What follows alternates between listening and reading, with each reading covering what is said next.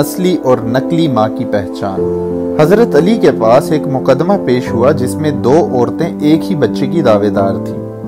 हज़रत अली ने आरी लाने का हुक्म दिया और कहा कि इस बच्चे के दो हिस्से करके दोनों औरतों में बांट दिए जाएँ।